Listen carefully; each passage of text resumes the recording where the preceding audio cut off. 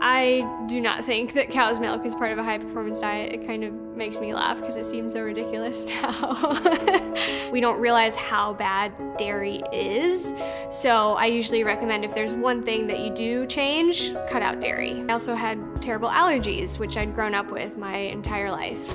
And I never really connected it, but once I cut out dairy from my diet, my allergies completely went away. Having not realized that sooner is probably my biggest regret of my Olympic career. Telling kids that cow's milk is part of a healthy diet or an Olympic diet is dangerous and I think it's really misleading. To future Olympians, to Olympic hopefuls, to people training to get to their athletic peak, um, I just want to say that you don't need cow's milk to be part of a healthy diet and in fact um, plant-based diets are a lot more rich and dense in nutrients and feel a whole lot better for your training.